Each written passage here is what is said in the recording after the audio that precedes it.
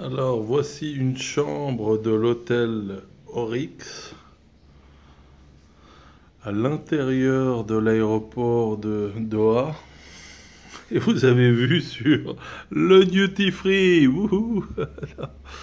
bon, c'est pratique quand vous avez un vol le matin puis vous arrivez le soir claqué. Bah, c'est euh, revigorant de pouvoir dormir dans un lit. Bonne journée à tous.